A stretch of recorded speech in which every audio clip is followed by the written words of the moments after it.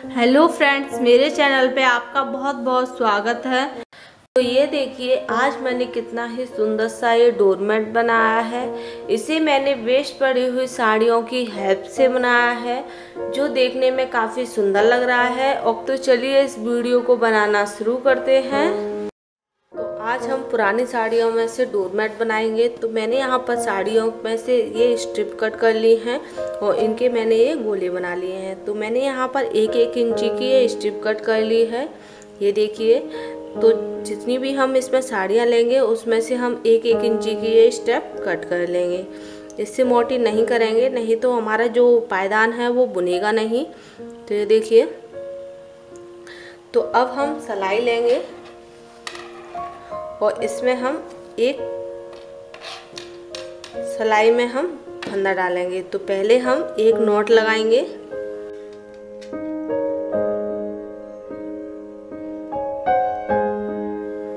तो यहाँ पर मैंने इसे अच्छे से नोट कर लिया है। तो अब हम यहाँ पर फंदे डालेंगे। तो जितना भी बड़ा हमें ये डोरमेट बनाना है, उतने हम इसमें ये फंदे डालकर तैयार कर लेंगे। तो ये देखिए स्ट्रिपली इसको इस तरह से घुमाया और इसमें डाल दिया। ये देखिए, ये हमारी स्ट्रिप है, इस तरीके से किया और इसे इसमें डाल दिया। तो मैंने यहाँ पर ये टोटल 20 फंदे डाल लिए हैं इसमें। तो अब हम इसे बुनेंगे। तो दूसरी सिलाई लेंगे। जो फंदा हमने डाला हुआ है, इसके अंदर हम सलाई को डालेंगे। ये देखिए, इस तरह से सलाई के ऊपर से हम इसे ऐसे घुमाएँगे। अब हम इसे इस तरीके से निकाल देंगे। फिर से दूसरा लेंगे।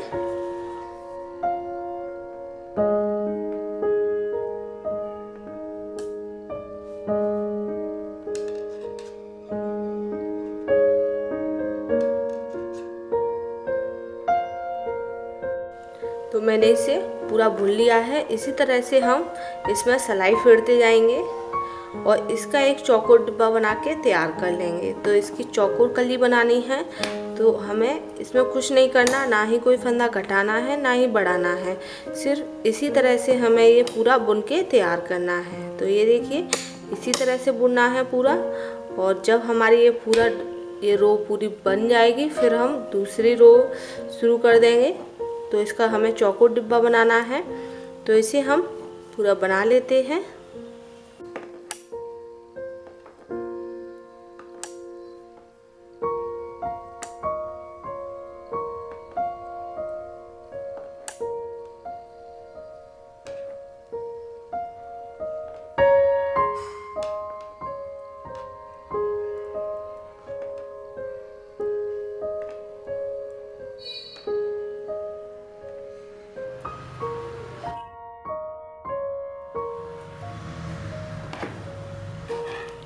तो इसी तरह से हम इसे आगे की साइड में बढ़ाते जाएँगे। इसे बुनते हुए बढ़ाते जाएँगे और इसका एक चौकोर कली बना के तैयार कर लेंगे। तो हमें इसमें कुछ भी नहीं करना है, सिर्फ़ इसी तरह से इसको बुनना है। तो इसे बुन लेते हैं।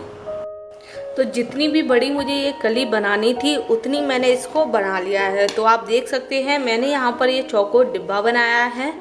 तो अब हम ये फंदे उतारेंगे। तो दो फंदों का हम एक करेंगे।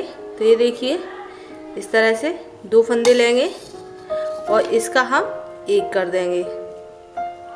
तो जो हमारा इस वाली सिलाई में जो एक फंदा है, इसे हम इसी में उतार देंगे और फिर से हम दो फंदे लेंगे, उसका एक करेंगे।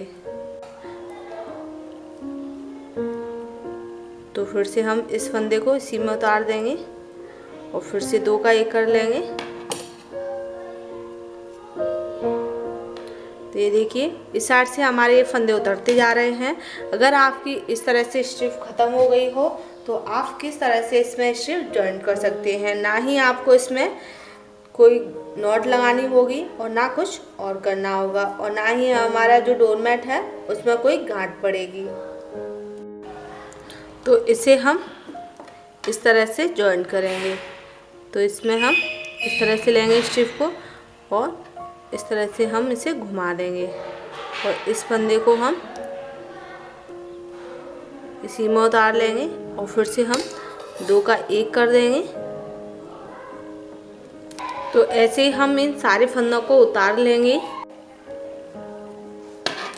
तो ये हमारा एक फंदा बच गया है यहाँ पर। अब हम क्या करेंगे कि जो हमारी ज़्यादा स्टिफ है, इसे हम कट कर देंगे और इसे हम थोड़ा सा बड़ा कर लेंगे। तो इस तरह से हमने इसे यहाँ पर इस फंदे को निकाल दिया है और इसे हम यहाँ पर कट कर देंगे, जो भी एक्स्ट्रा है। तो ये देखिए, हमारी ये चौकोर कली बन के तैयार हो गई है।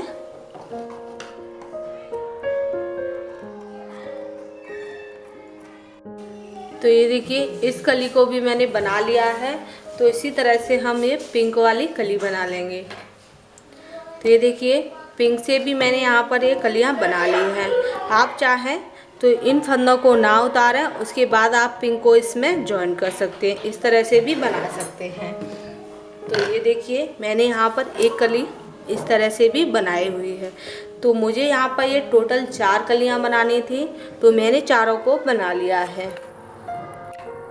ये देखिए चार कलियों को मैंने बना लिया है तो दो को मैंने अलग बना लिया है। आप इस तरह से भी बना सकते हैं और आप इसे इस तरह से भी बना सकते हैं। इन चारों कलियों को आपस में सिल लेंगे। तो कैसे भी हम इसे शुरू कर लेंगे। तो मैंने यहाँ पर थोड़ी सी मोटी सुई ली है और इसमें मैंने रील, यानी कि रील का धागा नहीं लिया है, ऊन को लिया हुआ है।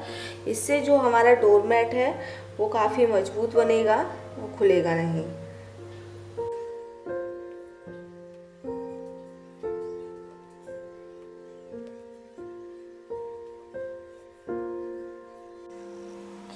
इसी तरह से, यहाँ पर सीधा सीधा सिल लेंगे, फिर उसके बाद ऐसे सिल लेंगे। तो ये देखिए, इन चारों को मैंने सिल लिया है। तो अगर आपको मेरा ये वीडियो पसंद आए तो प्लीज़ मेरे वीडियो को लाइक करें और मेरे चैनल को सब्सक्राइब और शेयर करें। फिर मिलेंगे नई वीडियो के साथ, तब तक के लिए बाय बाय